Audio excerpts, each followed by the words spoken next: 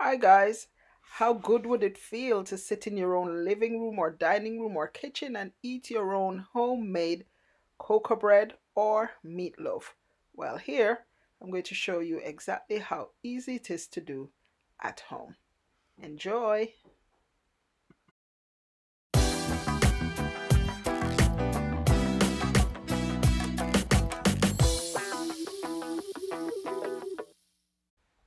You'll need flour, salt, milk, butter, egg, sugar, and yeast. Just watch the steps and you'll see exactly how to create it. I'll put the exact list of ingredients in the description box below.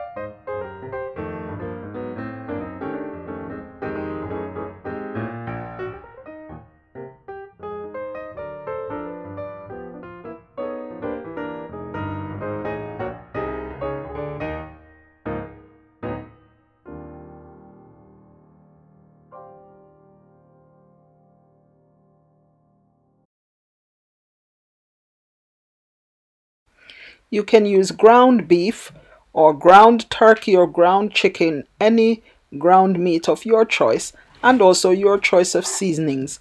I used garlic, onion, scallion, thyme, some black pepper, paprika, chili powder, um, Old Bay seasoning, and then you'll need a little oil, just a little bit, to cook it all up add some browning for color and you can add some soy sauce as well.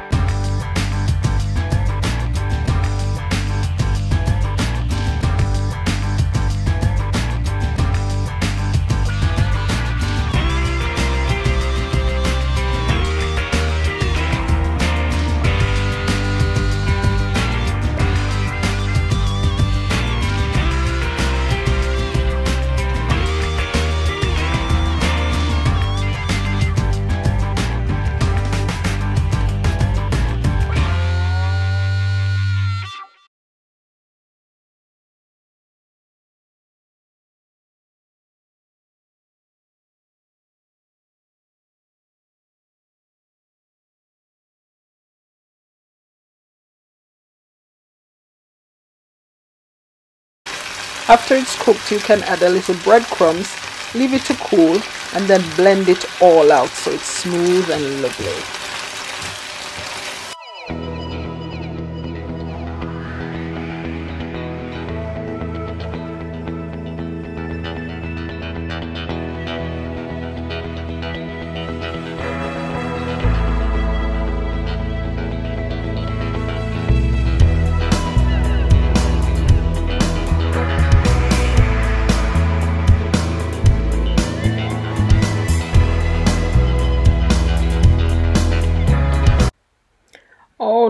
Guys. This is embarrassing and I don't know what to do except to apologize. I thought the camera was recording when I was cutting the dough, um, but it wasn't. Anyway, I'll tell you. All you need to do after the two hours or so when it has doubled in size, take it, punch the air out of it first, then take it out of the bowl, flour the surface just lightly, a little bit of the flour that was left, and then you're going to cut that dough into 10 pieces. Form each piece into a circle. Roll each circle out.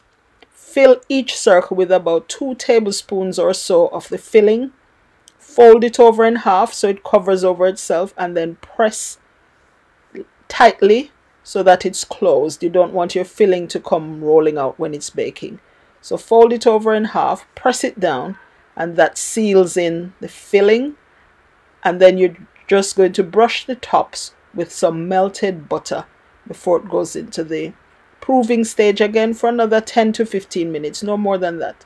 So after you fill them put them back to prove for 10 to 15 minutes. Now if you've run out of filling congratulations! You have everything you need to make cocoa bread. So the cocoa bread is the exact same dough but it doesn't have any filling in. To make the cocoa bread, brush it, those three up there I'm pointing at, those are the cocoa bread ones. Just brush the flat round first with the melted butter, fold it over in half, and then brush the top with melted butter. Seal it as well so that it stays closed. This one, sealing is not so crucial because there's nothing in there really. The filling, there's no filling to run out. But that's it. That's how you make the cocoa bread. And then that's how you make the meatloaf. We apologize again for this. But they turned out absolutely amazing. Absolutely delicious. It takes about 20 minutes in the oven. 180 degrees Celsius or 350 degrees Fahrenheit. And 20 minutes in the oven. And you have your lovely set of hot cocoa bread and hot meatloaf and it will be smelling amazing. You can't believe you've made it? Well, you've done it. Well done.